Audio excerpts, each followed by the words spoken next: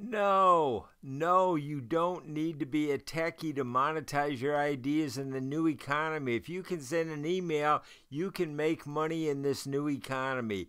It is simple. We'll get into it more later, but don't overthink this. You can monetize your ideas in this new economy without being a techie.